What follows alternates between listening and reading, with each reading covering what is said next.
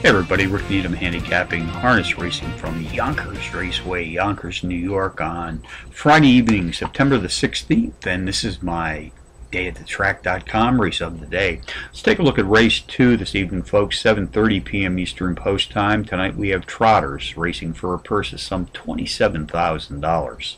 Contenders number 6, Secondhand News, number 5, Lubbock, number 2, The Mad Duke, and number 3, Just a Rebel.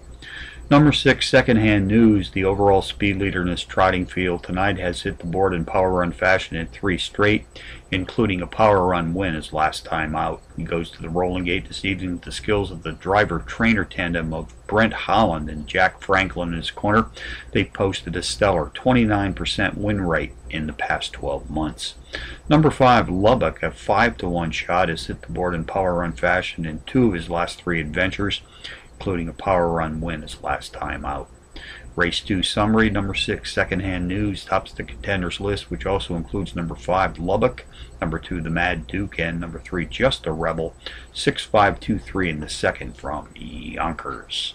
Bonus long shots, race 4, entry number 8 Win an Image, a 6 to 1 shot qualifies as a power pony as both the overall speed and class profile leader in this trotting field this evening. Race 6, check out the 10 to 1 bomb number 4 Feeling You.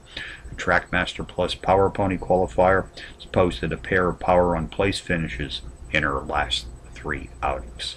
So from Yonkers on a Friday night, Rick Needham for DayAtTheTrack.com, reminding you as always to please bet with your head, not over it.